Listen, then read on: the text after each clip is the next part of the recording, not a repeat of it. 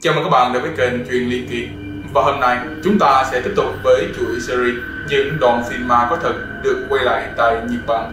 Đầu tiên tôi sẽ tập tách ngắn gọn về nội dung chính của ngày hôm nay. Thứ nhất, đôi tình nhân yêu thương say đắm nhưng bị cái chết chia lìa Và dĩ nhiên, linh hồn của người chết mãi bám theo kẻ còn lại. Thứ hai, tàn tích của một vụ hỏa hoạn đã trải qua một thời gian nhưng linh hồn của những nạn nhân thì vẫn còn đó. Thứ ba, những bãi cỏ cao ngút ngàn là nơi mà người ta tìm thấy xác một người phụ nữ và dĩ nhiên linh hồn của bà ta vẫn còn ở đó là những gì mà chủ Thị Kỳ muốn giới thiệu đến các bạn ngày hôm nay. Đoạn phim này được xác nhận là quay lại tại một căn phòng cho thuê ở thành phố Kobe, Nhật Bản vào ngày 13 tháng 7 năm 2012. Căn phòng này được thuê cách đó một năm bởi một đôi tình nhân khi họ chuyển về đây để công tác. Tình yêu trai gái lứa đôi lúc nào cũng tay trong tay, vui vẻ cười đùa khi gặp nhau. Những lời hứa hôn lúc ban sơ là những gì hạnh phúc nhất mà họ đã từng có. Nhưng rồi mọi chuyện không như mong đợi. Người bạn trai của Hiyuto đã ra đi trong một vụ tai nạn giao thông và điều này khiến cô ta như sụp đổ hoàn toàn.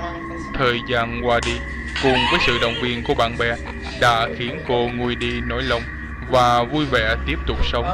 Nhưng điều đáng nói ở đây là, đôi khi cô ta lại nghe thấy tiếng bạn trai thì thầm bên tai mỗi khi ngủ và đoạn phim này là bằng chứng cho tất cả bạn trai của Hiyuto vẫn luôn dõi theo cô ấy, mặc dù anh ta đã chết cách đó một năm. Đoạn phim này được quay lại tại một ngôi nhà bỏ hoang hơn 2 năm qua ở ngoại ô thành phố Osaka, Nhật Bản. Vào thời điểm lúc này đã là 10 giờ 30 phút tối, ngày 23 tháng 4 năm 2012, bởi một nhóm thanh niên chuyên đi thám hiểm những điều ma quái dị thường tại những nơi bỏ hoang. Vẫn như những lần đi quay trước, họ tìm kiếm thông tin về những nơi hoang vắng đổ nát, lên kế hoạch và lên đường đi quay. Những sự tò mò về thế giới vô hình cảm giác được trải nghiệm nỗi sợ thực sự. Và điều quan trọng nhất là được tận mắt chứng kiến ma quỷ. Những điều mà khoa học chưa thể chứng minh là thứ mà họ muốn lúc này. Không khí tĩnh lặng của màn đêm, họ bắt đầu trò chuyện và cười đùa. Như thể muốn lấn át đi bầu không khí yên tĩnh ấy. Tiếp tục bước lên những bậc thang, và điều mà họ khao khát đã ngay trước mắt. Một hình bóng xuất hiện rồi biến mất, sau đó bóng đèn lại hiện ra ngồi thù lù trước mặt họ khiến cả bọn bỏ chạy. Sau khi tìm hiểu thì được biết ngôi nhà này đã từng bị hỏa hoạn toàn bộ người trong nhà đều bị chết cháy mất xác và những gì họ thấy trong đêm hôm đó hoàn toàn là một sự thật.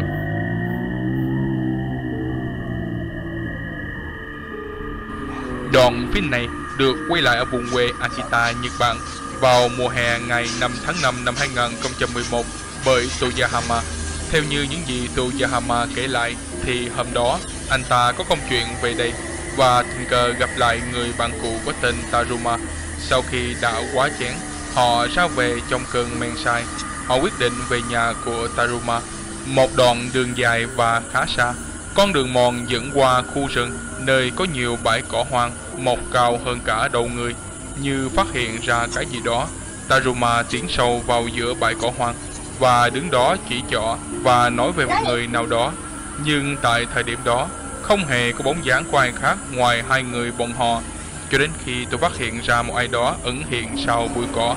Một ai đó được người dân nơi đây khẳng định là Yumiko, người mà được phát hiện là bị giết và xác của bà ta được tìm thấy tại đây hồi 4 tháng trước.